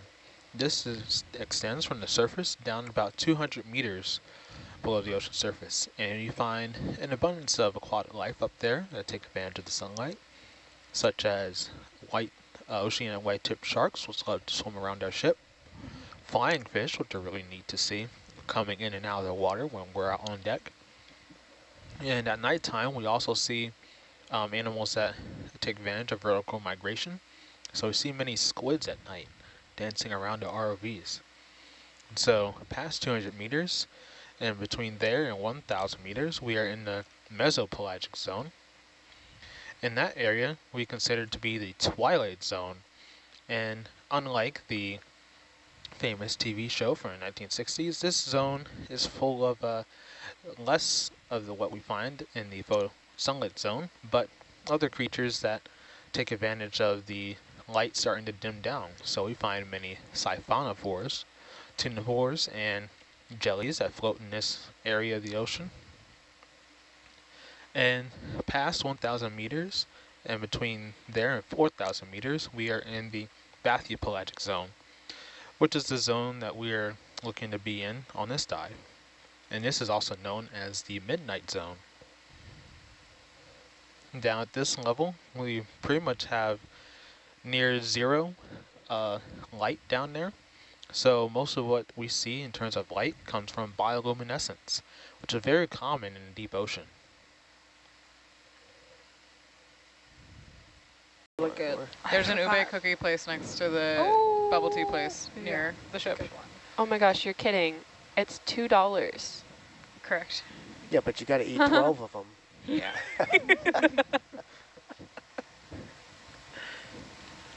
Folks. Suggestions. I kind of like just a plain musubi, you know, just Ah, salted rice nothing for the fancy. beach. Beach.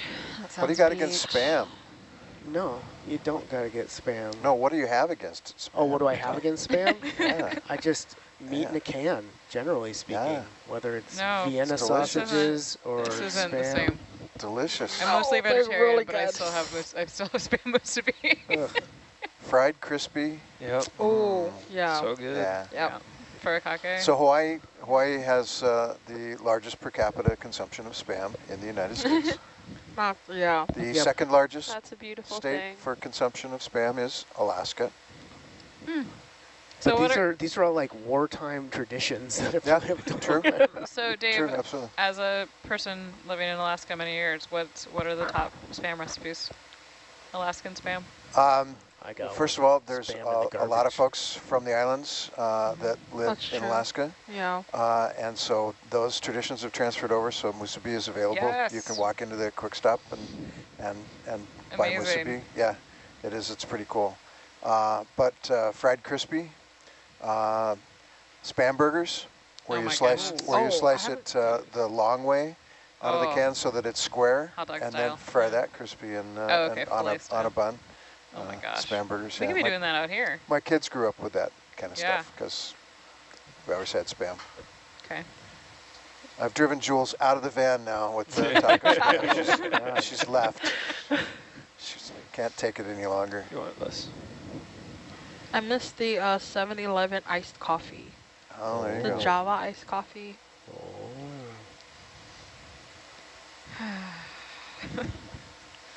Slow it up. So we're gonna have that phenomena. Phenomena. Slow down again. And This Rather. is the deepest we've gone. So I suspect it's gonna be worse. Really.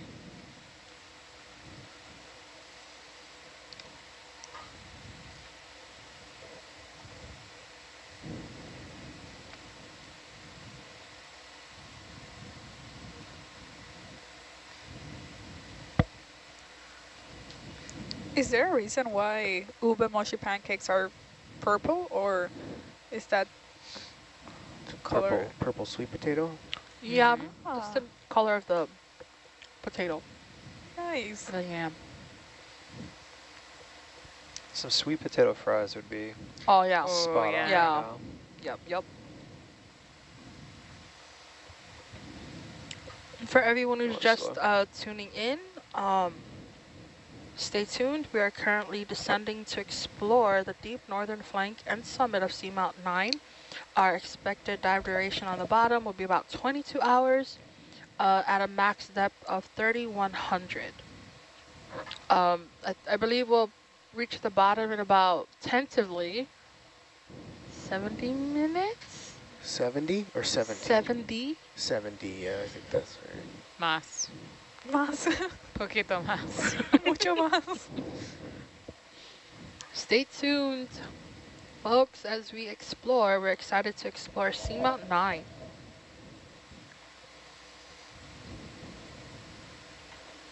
So how are these numbers assigned?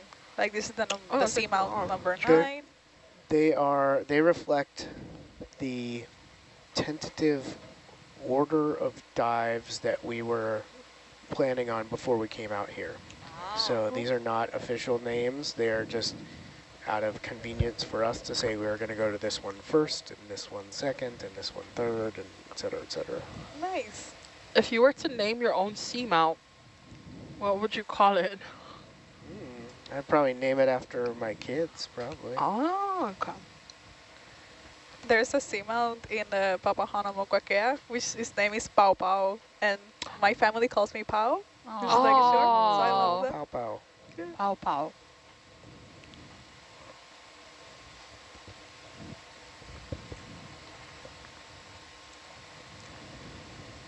Let's go, chat. What would you name your seamount? Or guyot?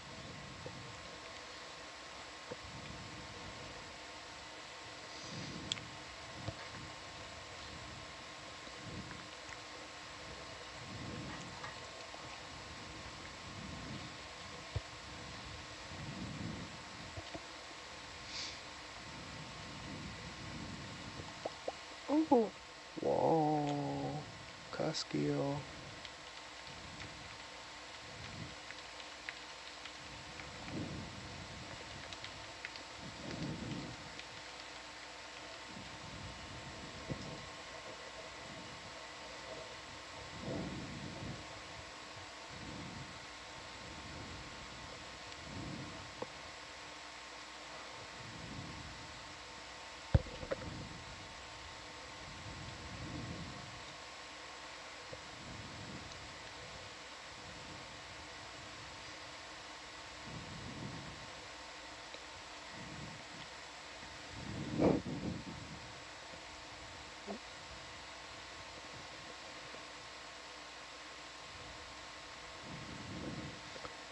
So, let's see, let's see. I can tell you guys that last night when I was describing rocks, um, I found the least altered basalt that we've encountered so far had fresh olivine, What? pyroxene, and plagioclase feldspar phenocryst. Really? That's so exciting. exciting. Yeah. Just scatter through, or? Yeah, yeah, they're just Okay. like little floaty bits. in Yeah, yeah. Amazing.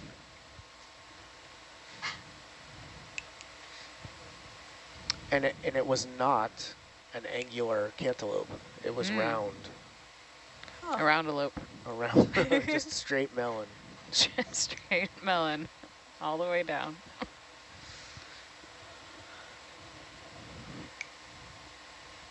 I think I would be olivine if I was a rock. Oh, yeah. You ready to speed up? Okay, coming up. Yeah, we don't ask. Not very What- much. Yeah, mineral got a would you 17. be?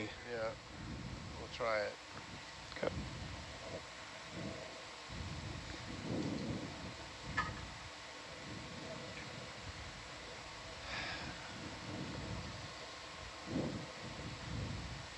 So Jules, how's your Instagram takeover going? 17. It's going great. Um, Are you typically on Instagram I am on Instagram personally. or Insta, as I say? Insta. yeah, we say Insta now. As the cool people say. Um, I do have a quick correction. I said atmospheric pressure, but pressure underwater is hydrostatic pressure. So just a quick note. When did you say that? Um, you would know if you watched my story. Oh, I'm so, I okay on your Instagram. It's on the Nautilus Live Instagram. Okay. Yeah. um, yeah, Corley just informed me. Underwater, it's hydrostatic pressure. Air is But- um, atmospheric pressure. It can be expressed in terms of atmospheres. Yeah, It's yeah, the units to are the same, Do you need to take the ship but it's somewhere to called get something to different. No? I mean, not really. Not even kinda? Well, science, were these very specific waypoints or were these guidelines? Guidelines. Great. Not really great, but okay. Why not I great? have to keep driving ahead, and that's detracting from our ability to go down. Okay. Well, we can move the ship if you'd like, but we are not going forward. Oh. We'll be backtracking for. yeah, that's what I thought. Yeah, we'll be backing down to get to our sites.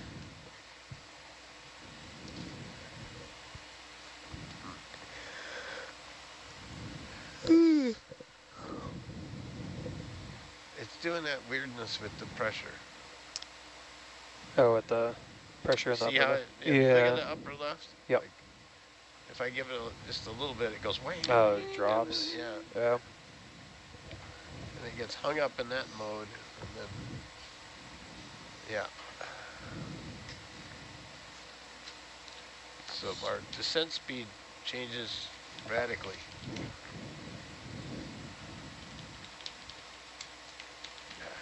If you just didn't want to give them next watch more time on the bottom, that's I understand that too.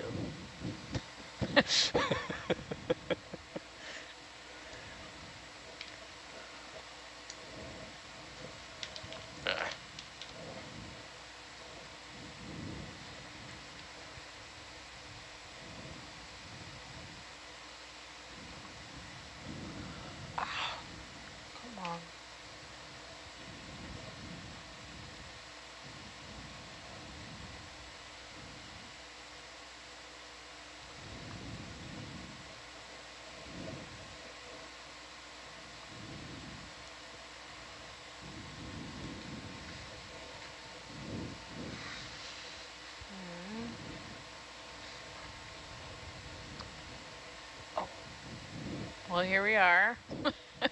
face to face, A couple of silver spoons.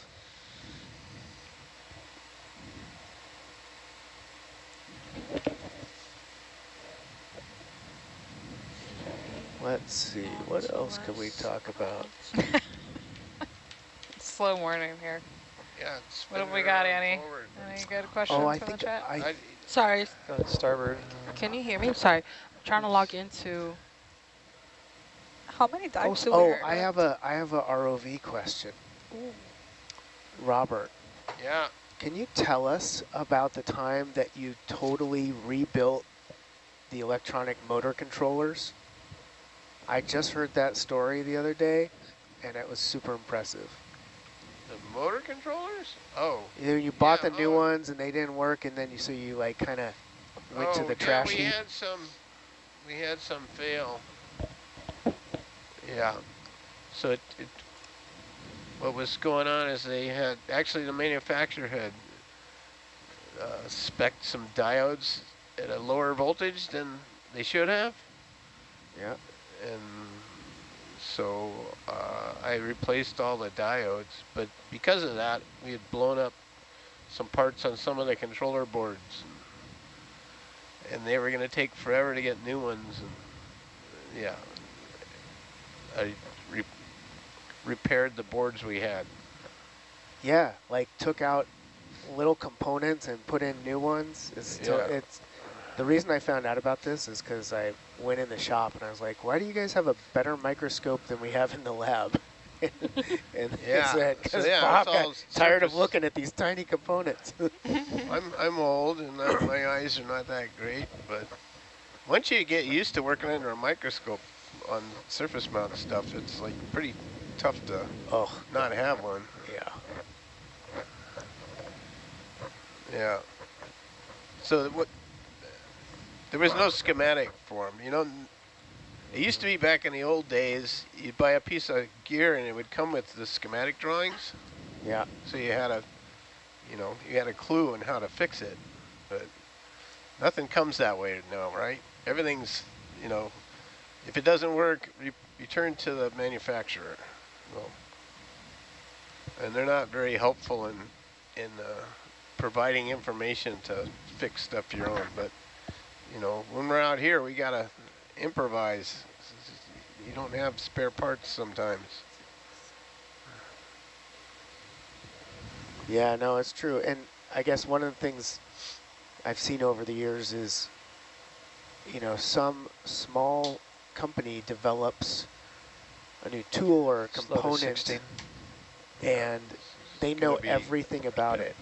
And then that company gets sold to a bigger company and then they, all the kind of information about how it was originally designed and why the choices were made as it kind of Yeah, disappears. it's- yeah, it goes away.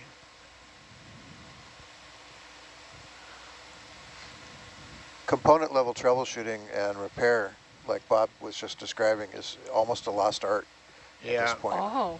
Especially with surface mount stuff. I, I gave up repairing boards when uh, surface mount uh, components came out. It's just like, Yeah, and you know the move to- is to smaller and smaller parts. Yeah. So, like, you know, they're they're going to like what they call ball grid arrays, where the yeah, the the leads are just little solder balls underneath the part, so there can be, and they're spaced like a half a millimeter, so they're pretty pretty tightly spaced.